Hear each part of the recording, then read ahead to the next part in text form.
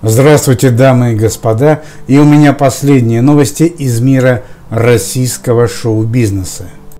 Сегодня на рассвете в курортном городе Дения на северном побережье Испании произошло дорожно-транспортное происшествие. На большой скорости джип вылетел за пределы набережной и протаранил рекламные щиты.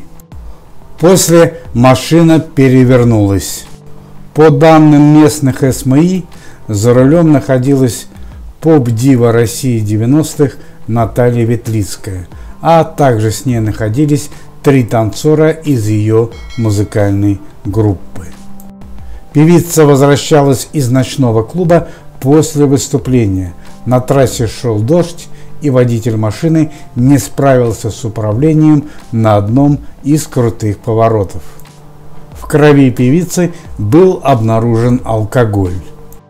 Состояние здоровья Натальи Ветлицкой оценивается как тяжелое. Она была экстренно госпитализирована в одну из местных клиник. Для Ветлицкой это уже не первая неприятность за последние месяцы.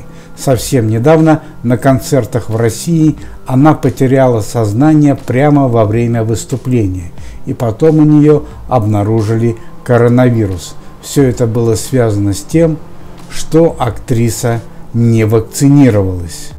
Российские власти поставили запрет на концерты Натальи Ветлицкой, пока она не пройдет курс вакцинирования.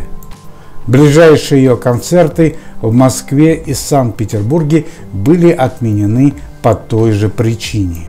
Наталья Ветлицкая – одна из выдающихся российских певиц, наибольшую популярность получила в 90-е годы прошлого столетия. Была замужем за Женей Белоусовым, Дмитрием Маликовым, Павлом Смеяном и многими другими. Наибольшую известность получила благодаря хитам «Но только не говори мне», «Глупые мечты», «Глаза цвета виски» и многие другие – последние годы многое изменилось в жизни Ветлицкой. По слухам, она вступила в секту и чуть не потеряла дочь из-за этого.